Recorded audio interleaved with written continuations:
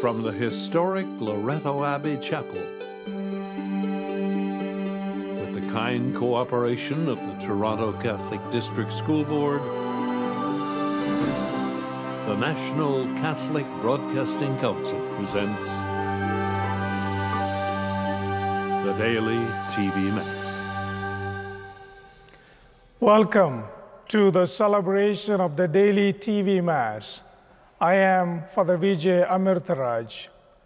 The televising of this Mass is made possible by the contribution from St. Mary Magdalene Parish in Fredericton, New Brunswick.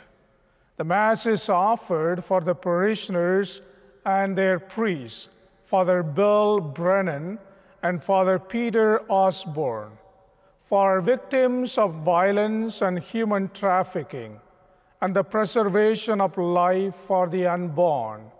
Also, for the people of Ukraine who are suffering from the devastating effects of this terrible war. The parishioners of St. Mary Magdalene Parish have been faithful supporters of the daily TV Mass since we first began broadcasting. On behalf of all who are gathered for this sacred celebration, we thank the parishioners of St. Mary Magdalene Parish for the gift of this Mass. In the name of the Father, and of the Son, and of the Holy Spirit. Amen. The grace and peace of our Lord Jesus Christ, the love of God, and the communion of the Holy Spirit be with all of you. And with your spirit. Sisters and brothers, let us acknowledge our sins and pray for God's mercy.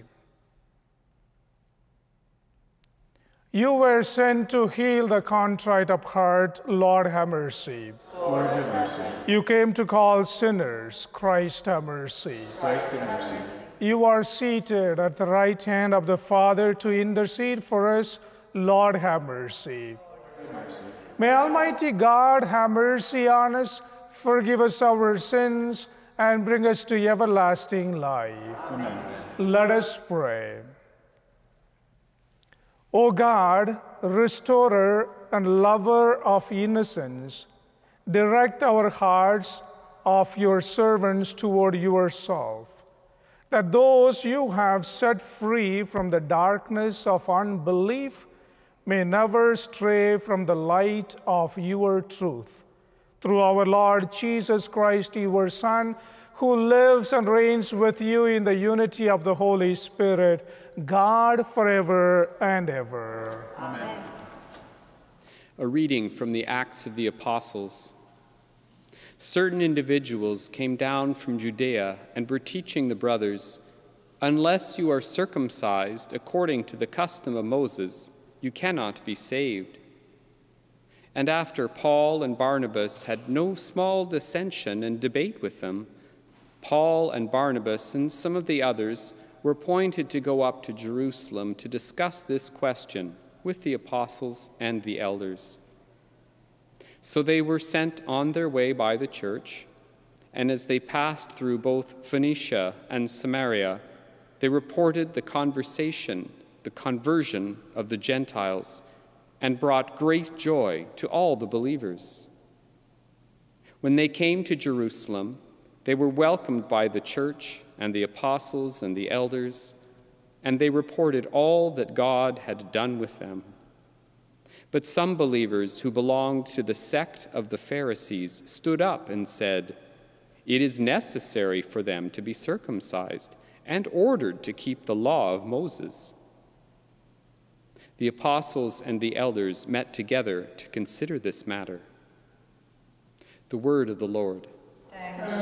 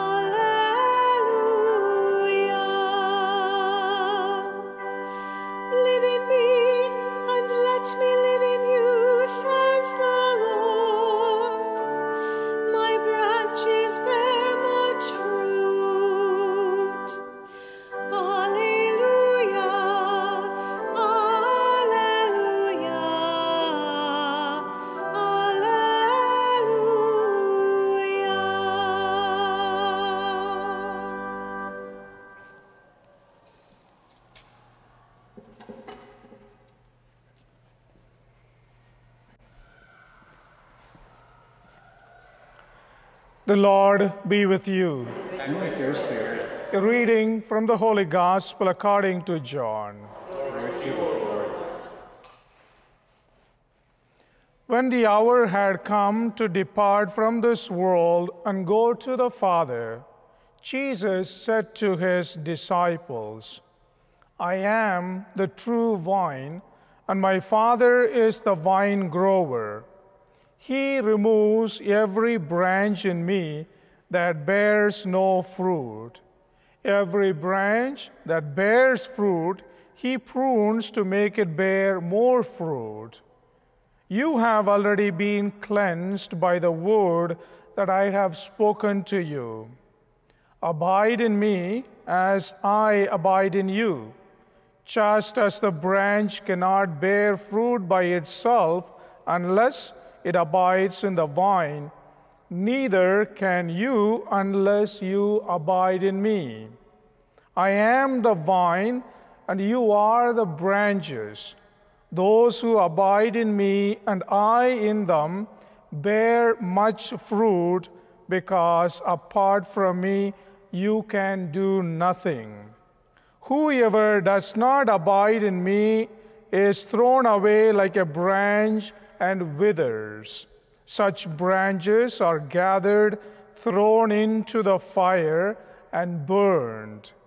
If you abide in me, and my words abide in you, ask for whatever you wish, and it will be done for you. My Father is glorified by this, that you bear much fruit and become my disciples. The Gospel of the Lord. Praise to you, Lord Jesus Christ.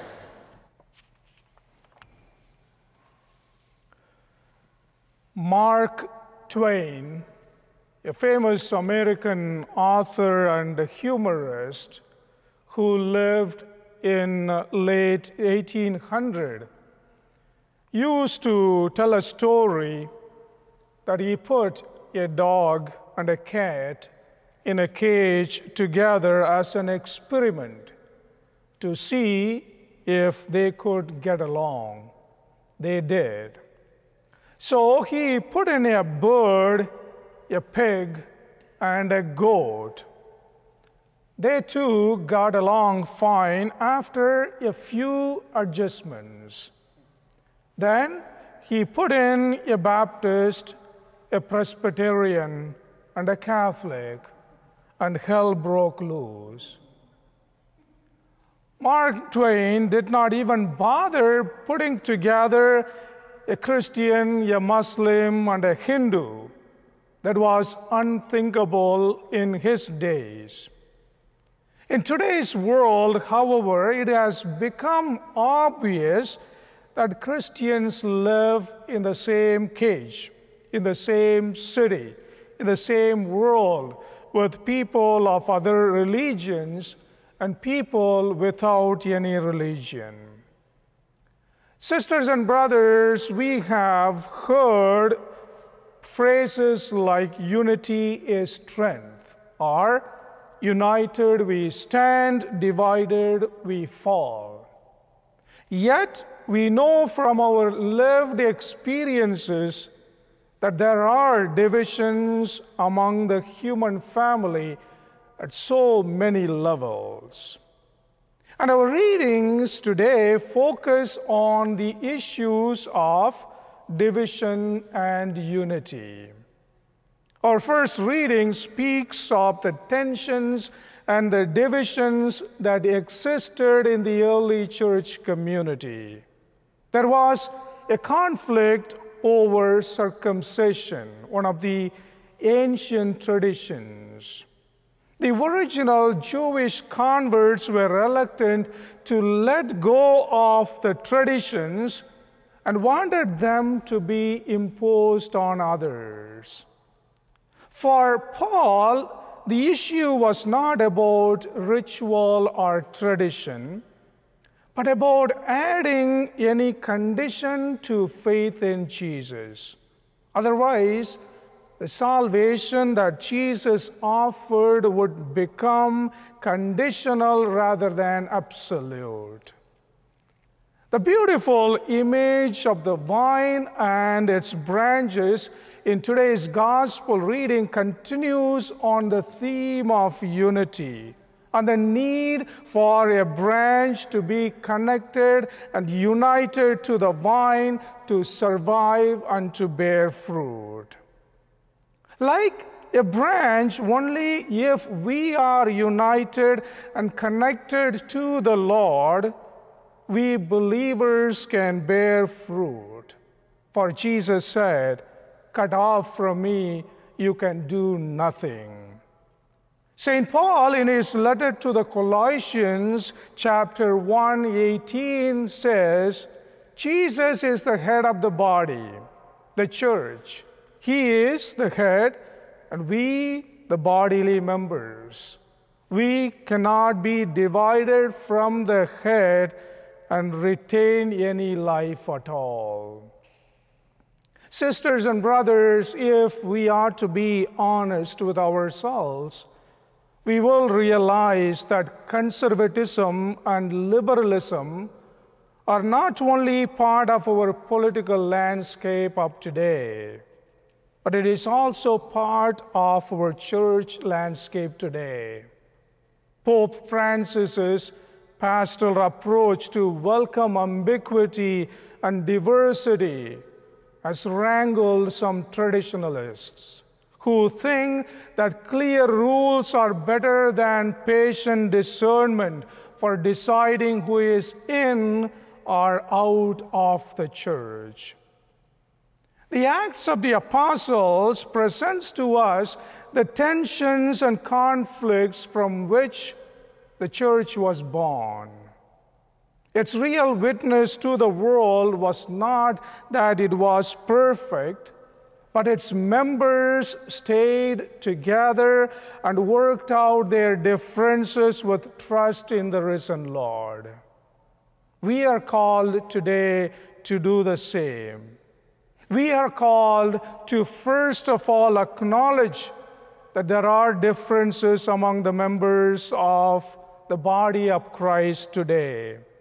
And we are called to work out and to better ourselves to resolve those differences that we have with trust in the risen Lord. And we are called to continue to bear witness to the life and love of our risen Christ in our world today.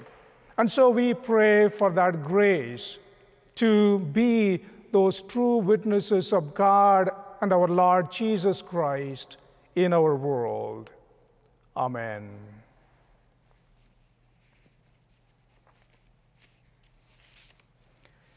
And we now take a moment to offer our prayers and petitions to God with faith. And we pray for all those in the daily TV Mass community. And we especially pray for all young people called to live life to the fullest. May they see in Mary's life the way to listen, the depth of discernment, the courage that faith generates, and the dedication to service. For this we pray to the Lord. For all of us participating in this Mass, that we may always draw strength from the Lord Jesus Christ, the true vine. For this we pray to the Lord. For all those who are sick and for those who live in fear and anxiety, for them we pray to the Lord. Loving God, hear us and hear our prayers and answer them through Christ our Lord.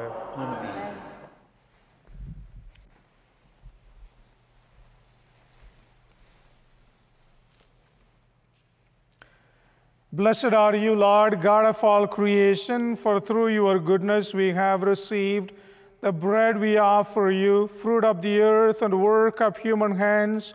It will become for us our spiritual food. Blessed be God forever.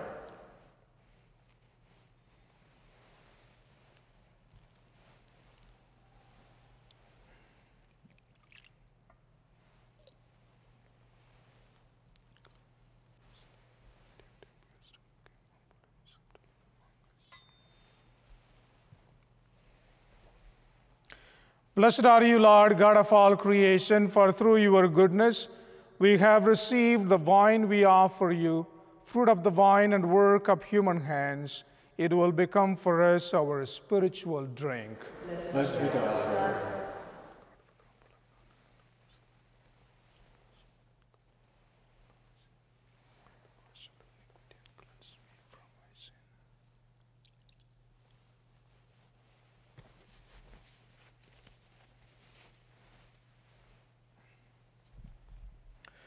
Pray, sisters and brothers, that my sacrifice and yours may be acceptable to God our Almighty Father. May the Lord accept the sacrifice at your hands for the praise and glory of his name, for our good and of all his holy church. Grant, we pray, O Lord, that we may always find delight in these paschal mysteries, so that the renewal constantly at work within us may be the cause of our unending joy. Through Christ our Lord. Amen. The Lord be with you. And with your spirit, Lift up your hearts. we lift them up to the Lord. Let us give thanks to the Lord our God. It is right and just. It is truly right and just, our duty and our salvation, at all times to acclaim you, O Lord, but in this time above all to laud you yet more gloriously when Christ our Passover has been sacrificed. He never ceases to offer himself for us, but defends us and he ever pleads our cause before you. He is the sacrificial victim who dies no more, the Lamb once slain who lives forever. Therefore, overcome with paschal joy, every land, every people exults in your praise, and even the heavenly powers with angelic hosts sing together the unending hymn of your glory as they acclaim.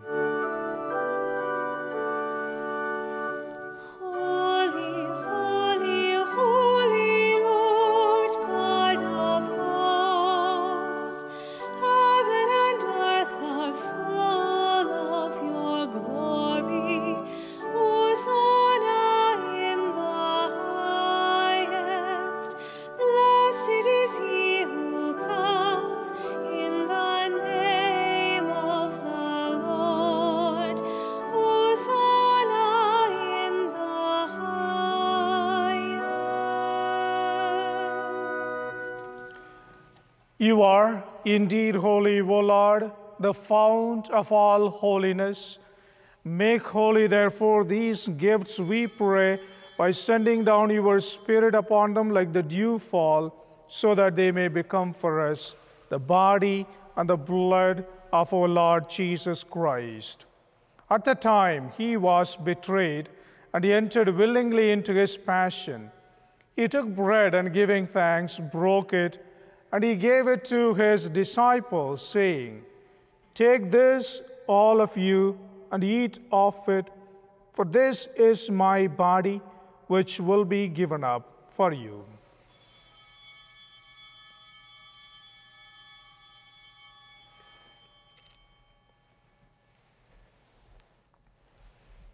In a similar way, when supper was ended, he took the chalice and once more giving thanks, he gave it to his disciples, saying, Take this, all of you, and drink from it, for this is the chalice of my blood, the blood of the new and eternal covenant, which will be poured out for you and for many for the forgiveness of sins. Do this in memory of me.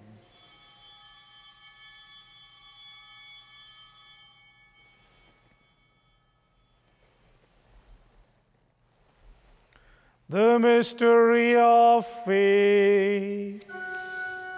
We proclaim your death, O Lord, and profess your resurrection until you come again. Therefore, as we celebrate the memorial of his death and resurrection, we offer you, Lord, the bread of life and the chalice of salvation, giving thanks that you have held us worthy to be in your presence and minister to you. Humbly we pray that partaking of the body and blood of Christ, we may be gathered into one by the Holy Spirit. Remember, Lord, your church spread throughout the world and bring her to the fullness of charity, together with Francis, our Pope, and Thomas, our Bishop, and all the clergy and the people you have gathered.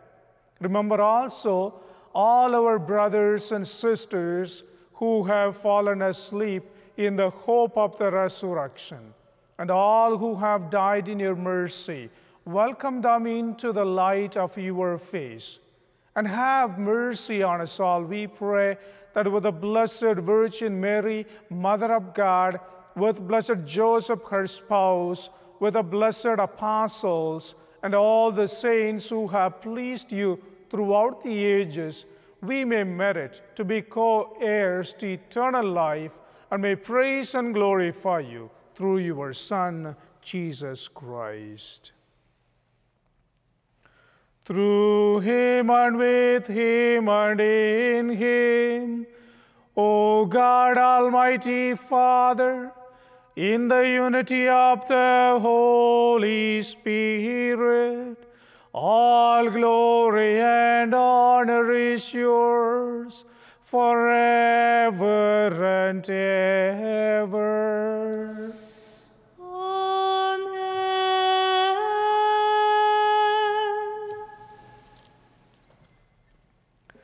At the Savior's command, informed by divine teaching, we now dare to pray. Our Father, who art in heaven, hallowed be thy name. Thy kingdom come, thy will be done, on earth as it is in heaven. Give us this day our daily bread, and forgive us our trespasses, as we forgive those who trespass against us. Lead us not into temptation, but deliver us from evil. Deliver us, Lord, we pray, from every evil. Graciously grant peace in our days, that by the help of your mercy we may be always free from sin and safe from all distress as we await the blessed hope and the coming of our Savior, Jesus Christ. The kingdom, the power, the glory are yours, now and forever. Lord Jesus Christ, you said to your apostles, Peace I leave you, my peace I give you. Look not on our sins, but on the faith of your church, and graciously grant her peace and unity in accordance with your will, who live and reign forever and ever. Amen. The peace of the Lord be with you always. And with your spirit. Let us offer to one another the sign of peace.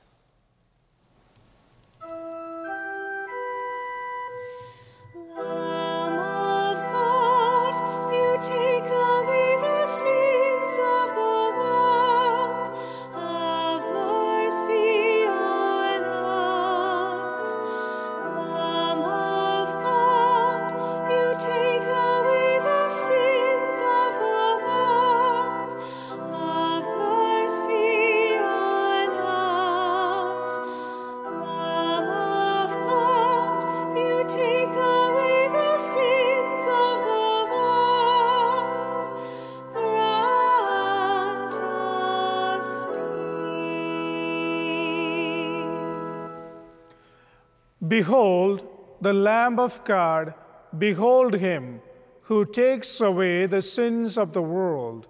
Blessed are those who are called to the supper of the Lamb. Lord, I am not worthy that you should enter my roof, but only say the word, and my soul shall be healed.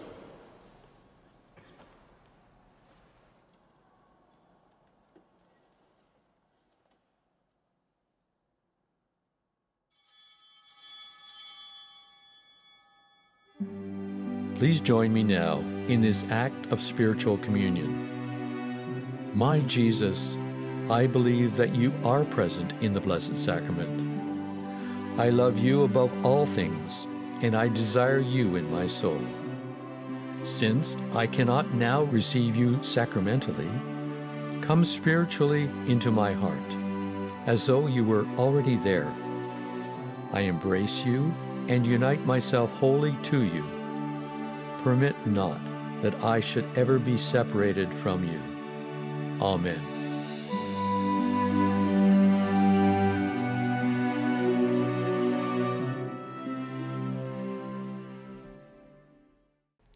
Let us pray.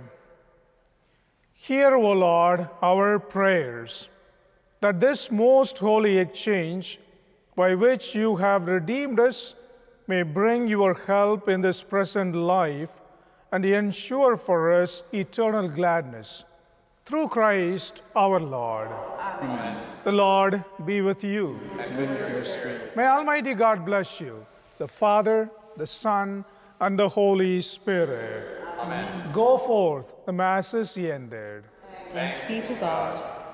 Our thanks to our donors for the gift of this Mass.